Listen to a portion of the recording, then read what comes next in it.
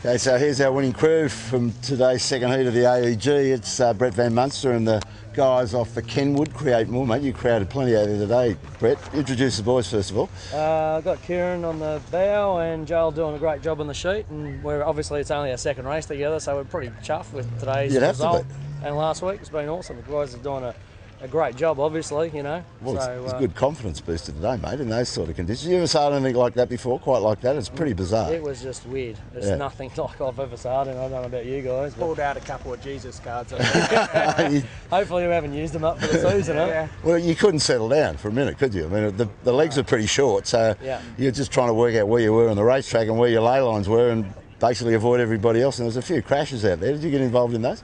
Uh, there was a couple going on around us, but we managed to stay out, stay out of trouble. So that always helps, doesn't it? Sailing Yeah, in 18. yeah. So that's uh, the boys did a great job keeping us out of trouble and getting us into the next line of pressure all the time. And that's probably what got us a jump. We picked a couple of shifts up the first work. And, You did? I saw and that. Then, and then got the change of pressure, and that was these guys just calling the shots, doing a fantastic job. So, Well done, boys. so well done. Well, there's Awesome. five. There's 500 bucks you might have to share amongst yourselves. Nice. Maybe the bar might get a tip. I. Might get rid of these dry lips.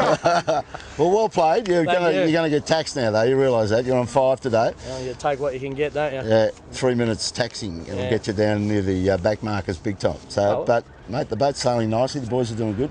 You never know what the weather's going to do. So Don't at just, the moment. just throw yeah. the balls. Might yeah. snow next week. Who Well knows? played today, anyway, guys. Yeah. Well done. Thanks very much. So the ferry has come into play big time here. Find yourself a spot, buddy. Yeah, Fisher and Paykel are going back. There's a hole for him, so he's going to go through. And that's uh, Asco to Asco and Kenwood's advantage big time. And both of these boats are going to go around the closest mark, which is the blue can. So there it is. Demolition Derby. And uh, the, the dagger board on De'Longhi is completely total. So anyway, we'll chase after these leaders for you. It's all happening here. There's gusts coming through. And these crews have got to be right on it today just to find the marks and find out a course to get to the marks and manage the uh, gusts, the gusts that are coming through to them. And there's Bearaways extraordinaire here.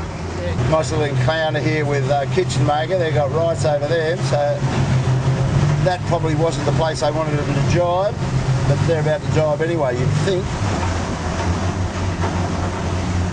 It wasn't all that well planned, but uh, at least let's put them back to make an approach to this finish line. This is one of the uh, craziest days we've had on the harbour for a number of years, watching 18s. The uh, weather just didn't want to get fair dinkum at all. And right at the death, this uh, southerly is starting to percolate, and uh, at least we're getting a run home.